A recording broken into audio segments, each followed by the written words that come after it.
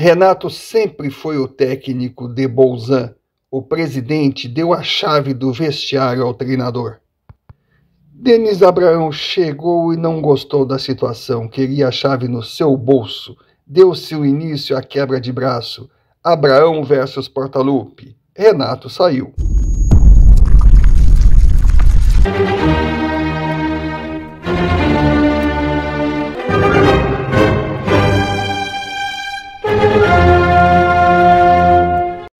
Sem a incômoda presença de Renato Portaluppi, Denis Abraão se tornou o homem forte no futebol da arena do Grêmio.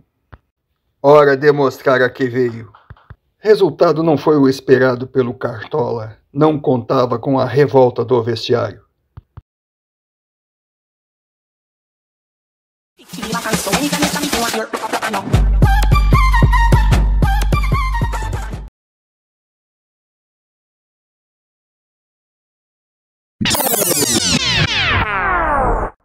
Denis não tardou a colocar no Grêmio um treinador com um nome respeitado e disposto a trabalhar, sempre repetindo as palavras mágicas: Sim, senhor.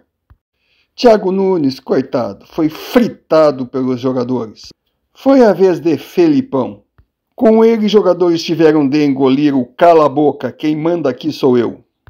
Mas o matreiro treinador logo percebeu que deu o cala-boca, mas jogadores não correriam por ele. Não ganharia nada com isso, tratou de pular fora.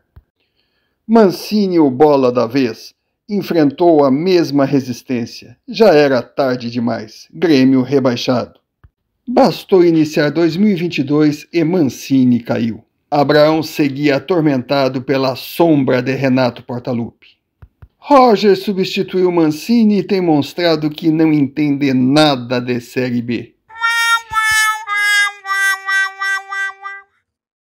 Agora a torcida gremista pede a volta de Renato Portaluppi, mas para ele voltar, Denis Abraão tem que sair.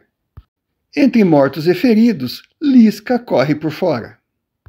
Segura essa, meu presidente.